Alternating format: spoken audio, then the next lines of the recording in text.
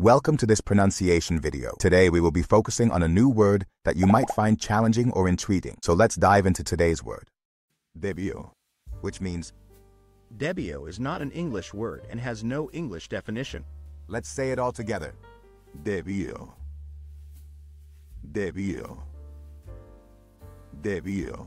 One more time. Debió. Debió. Debió.